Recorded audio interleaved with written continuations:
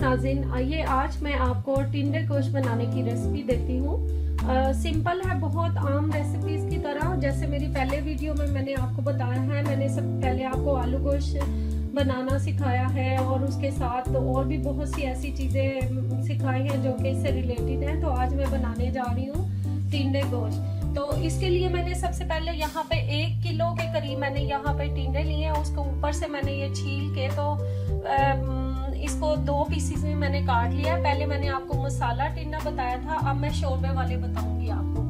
तो लैम मैंने यहाँ पे लिया है एक किलो के करीब। अच्छी तरह धो के आप रख लीजिएगा। मसालों में ऐड करूँगी, एक प्याज है और ज़्यादा शोरबे वाली चीज़ों में प्याज मत ऐड किया करें, क्योंकि उसके डालने से जो शोरबे का जायका है, वो बहुत ही स्वीट मीठा आता है। यहाँ पे ये मेरे पास लहसन है, ये अदरक है, एक पीस मैंने लिया है, आप देख लीजिएगा। जितना जितना अगर आप स्पून पर जाती हैं तो फिर आप तकरीबन two tablespoon ginger two tablespoon जो है ये गार्लिक ले लीजिएगा। एक टमाटर लेना है आपने, ये बड़ा सा है, छोटा नहीं है। गार्निश के लिए मैं यूज़ करूँगी ये देखिए कोरिएंडर हरा धनिया। मसालों में मैं डालूँगी नमक, हल्दी, लाल मिर्च, जीरा पाउडर और सूखा धनिया। कितना डालूँगी? मैं आपको ये साथ साथ बताऊँगी। पानी में ऐड करूँगी। प्रेशर में मैं हमेशा बनाती हूँ प्रेशर कुकर में। तो आपके पास जो भी है, वो अपने हिसाब से पानी ऐड करके गोश्त को गला लीजिएगा। तो अब मैं जाती हूँ। देखिए, मैंने यहाँ पे एक प्रेशर कुकर लिया है। इसके अंदर मैंने ये मीट शामिल कर दिया है। तो साथ ही मैं पानी ऐड करूँगी इसके अंदर। ठीक है, पानी डाला। अब मैंने इसके अंदर ये करना है कि साबुत ही गार्लिक डालना है। और जो ऑनियन है, उसके भी फोर स्लाइस करके मैं इसके अंदर डाल दूँगी।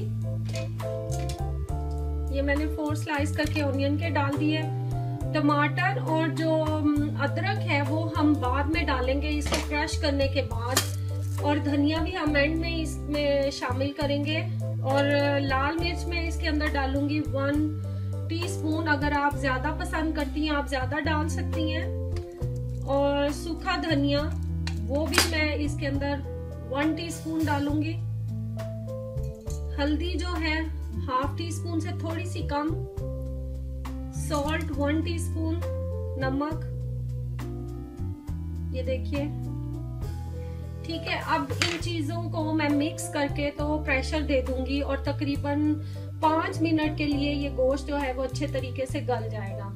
जीरा पाउडर भी आपने इसके अंदर वन टीस्पून ऐड करना है। कि इसमें पानी भी थोड़ा सा रह गया है और मसाला भी तकरीबन इसका बिल्कुल गल चुका है। तो इस सूरत में हम इसके अंदर ये तब ये टमाटर और जिंजर जो मैंने क्रश करके ये दे रखा था, ये मैं अब इसके अंदर डाल दूँगी वापस। फिर मैं साथ ही इसको थोड़ा सा डाल के तो इसका जो पानी है वो मैं ड्राई करूँगी। पानी ड्राई करने के बाद फिर हम इसके अंदर ऑयल शामिल करेंगे। ऑयल तकरीबन इसके अंदर जो है, आप सिक्स टेबल स्पून भर भर के डालिएगा, क्योंकि ऑयल का आइडिया आपको होता है कि मैंने पहले भी आपको बताया था कि ना इतना, ज़्यादा ना इतना कम डालिएगा। लेकिन इतना होना चाहिए इसके अंदर के इसकी बुनाई जो है वो अच्छे तरीके से हो जाए। तो मैं इसका पानी ड्राई इतना गाढ़ा सा मसाला हो जाता है, पानी ड्राई हो जाए तो अब हम इसके अंदर जो है ना वो ऑयल शामिल करेंगे।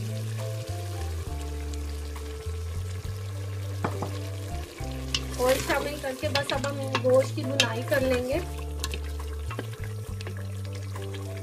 मसाला भून जाए और ऑयल देखे ये निकल आया है। आपको नज़र आ रहा होगा क्लियरली तो अब मैं इसके अंदर ये टीने जो मैंने काटते थे, वो मैं इसके अंदर शामिल करूँगी और तकरीबन पाँच से दस मिनट तक हम इसको भूनेंगे। इसके अंदर डाल के पाँच से दस मिनट तक इसकी बुनाई की है। देखिए, अच्छे तरीके से ये गोश्त का कलर और मसाले का कलर भी निकल आया। तो अब मैं इसके अंदर इतना पानी ऐड करूँगी जितना कि हमने शोरबा इसका रखना है।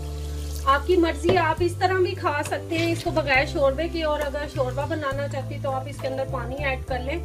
और फिर मैं पानी ऐड करने के बाद इसको हम्म, दो से तीन मिनट का प्रेशर कुकर फिर दूँगी ताकि टिंडे कर टिंडे बिल्कुल गल चुके हैं तो मैं अब बिल्कुल इसकी लो हीट कर दूँगी। लो हीट करने के बाद आप इसके अंदर कोरिएंडर डाल दें। ये हरा धनिया जो है ये डाल के तो आपने इसको बिल्कुल हल्की आग पे रख दे ताकि इसका ऑयल जब निकल आए तो फिर ही ये देखने में और खाने में मज़े का लगेगा। तकरीबन इसको आपने ट्वेंटी मिनट्स जो है बिल्कुल लो हीट पे कुरिएंडर डाल के रखना है। देखिए, ये अच्छे तरीके से ऑयल भी निकल आया और इसकी शक्ल कितनी अच्छी लग रही है। तो मैं आपको प्लेट में निकाल के दिखाती हूँ। हमारे टिंडे गोश्त बहुत ही मज़े के रह तैयार किए गए हैं।